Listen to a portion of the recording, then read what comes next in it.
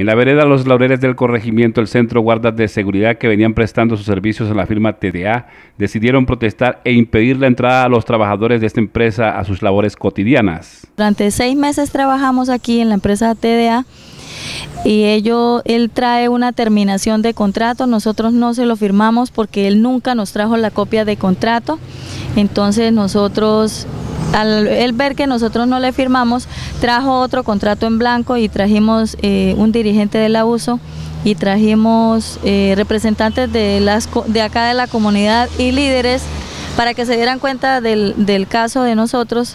Todo trabajador aquí en el centro debe pasar por un filtro que se llama CAFABA, no lo ha hecho.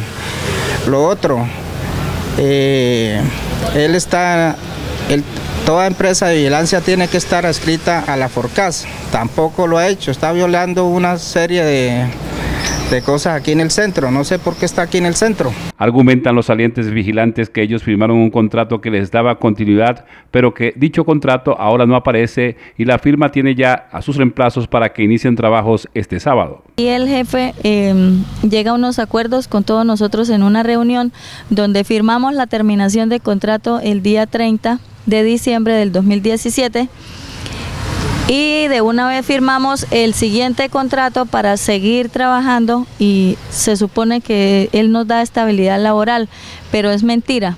Eh, la verdad no se sabe, de pronto más tarde hay solución, si no hay solución pues entonces se, se mantiene ahí, estamos dispuestos aquí a pasar 31. En el lugar de la protesta está la fuerza pública, trabajadores de TDA y los nuevos guardas de seguridad que esperan les permitan el acceso a sus puestos de trabajo. Hasta el momento la firma TDA no se ha pronunciado por este hecho.